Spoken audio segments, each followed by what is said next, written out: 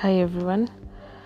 I'm a patient at the AJ Plastic Surgery Center, uh, and today I'm having my surgery. So, a few months ago, I was reading an article and I got to learn about several things of of what I was going through, that being gigantomastia, something that I was diagnosed with when I was 13 years old, and I learned about Dr. Jojo. And so today I'm here at the facility. In a few minutes, I'll be having my surgery. At the age of 13, I started growing my breasts.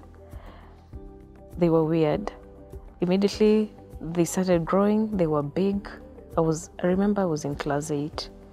So people people at that class made fun of me. I could wear two bras.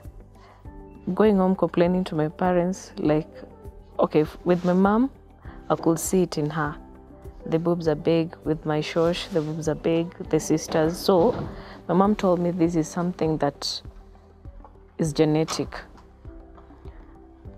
In high school, I started experiencing back pains, uh, chest pains.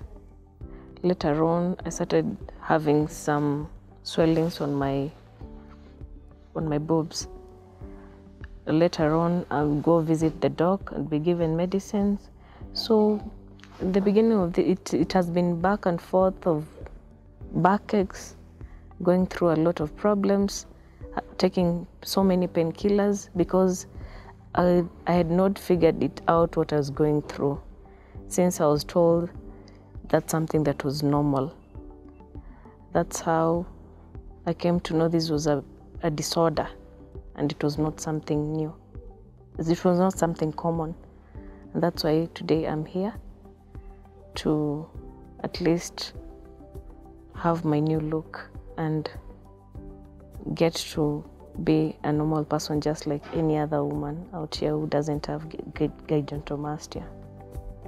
Yes.